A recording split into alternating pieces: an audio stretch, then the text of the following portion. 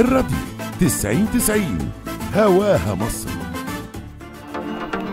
لسه مكملين مع بعض. راديو سكوب على راديو 90 90 هواها مصري والهضبة عمرو دياب وقف كل الأنشطة الفنية بتاعته وطار للندن عشان يقضي هناك أجازة استجمام بعد الحفلات الكتيرة اللي أحياها خلال الفترة اللي فاتت واللي احتفل من خلالها مع جمهوره بطرح ألبو- الألبوم الجديد بتاعه معدي الناس.